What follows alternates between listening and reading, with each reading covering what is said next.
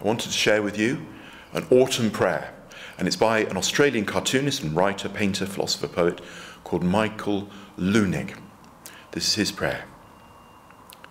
We give thanks for the harvest of the earth's work, seeds of faith planted with love, love nurtured by love, courage strengthened by courage.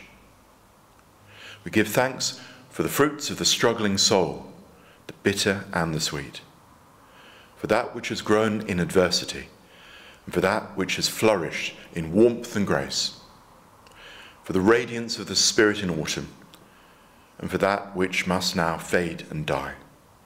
We are blessed, and we give thanks. Amen.